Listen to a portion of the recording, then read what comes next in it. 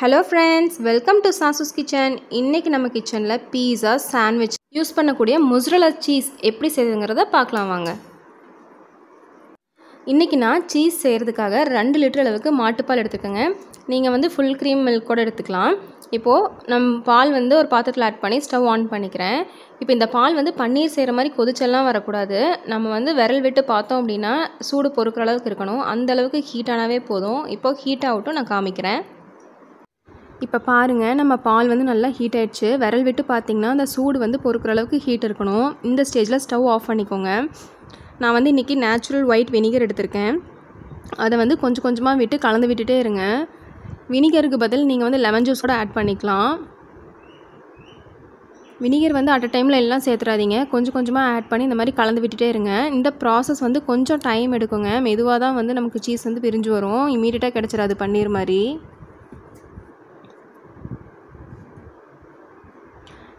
இந்த சீஸ் வந்து நீங்கள் வீட்டில் செய்கிற பீஸா சாண்ட்விச் எல்லாத்துக்குமே யூஸ் பண்ணலாங்க. நம்ம கடையில் வாங்குகிற சீஸ் மாதிரியே தான் இருக்கும். அச்சசல் கடையில் வாங்குகிற சீஸ் மாதிரியே தான் இருக்கும். ஒரு டைம் நீங்கள் இதை வந்து வீட்டில் செஞ்சிட்டிங்க அப்படின்னா திரும்ப திரும்ப வந்து நீங்கள் வீட்டிலே தான் ட்ரை பண்ணுவீங்க.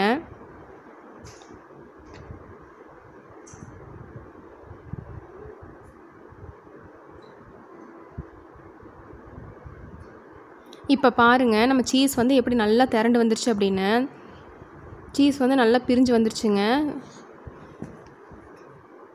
அவ்வளோதாங்க. நம்ம இந்த சீஸ்லாம் வந்து இப்போ கலெக்ட் பண்ணி நான் பக்கத்தில் வந்து ஒரு பவுலில் வந்து நல்லா ஹாட் வாட்டர் வந்து கொதிக்க வச்சு வச்சுருக்கேன். அதில் நான் வந்து இப்போ ஆட் பண்ணிக்க போகிறேன்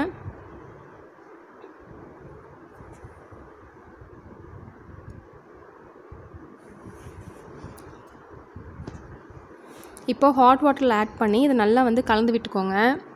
அப்போ தான் நம்ம அதில் இருக்கிற வே வாட்டர்லாம் வந்து நல்லா வெளியே வரும். நல்லா கலந்து விட்டுட்டு இந்த இந்த சீஸ் வந்து கலெக்ட் பண்ணி ஒரு கரண்டி வச்சு இந்த மாதிரி ப்ரெஷர் கொடுங்க. அப்போ தான் அந்த சீஸில் இருக்கிற வே வாட்டர்லாம் வந்து பிரிஞ்சு வரும். இந்த ப்ராசஸ் வந்து ஒரு ரெண்டு மூணு தடவை ரிப்பீட் பண்ணுங்கள்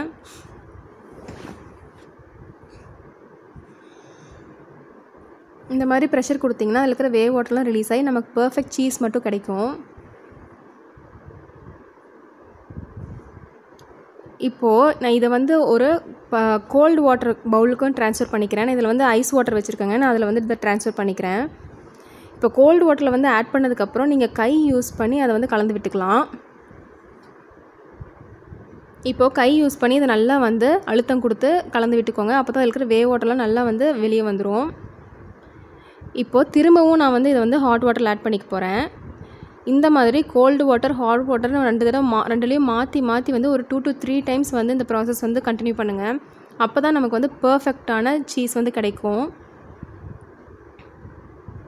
இப்போ பாருங்கள் நம்மளோட பர்ஃபெக்டான சீஸ் வந்து ரெடி ஆயிடுச்சு. இப்போ வந்து இது வந்து நம்ம ரெண்டு கைக்கு நடுவுலையும் வச்சுட்டு இந்த மாதிரி ப்ரெஷர் கொடுத்து இந்த மாதிரி ப்ரெஸ் பண்ணுங்கள் அதில் இருக்கிற வேஸ்ட் வாட்டர்லாம் வந்து வெளியே ரிலீஸ் ஆகிடும்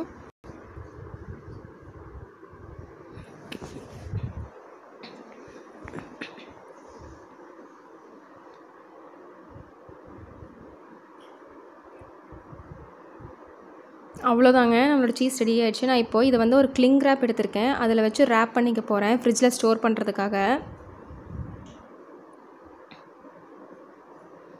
அவ்வளோதாங்க. நாங்கள் ரேப் பண்ணி எடுத்தாச்சு. இங்கே பாருங்கள் சீஸ் வந்து எவ்வளோ சூப்பராக இருக்குது அப்படின்னு.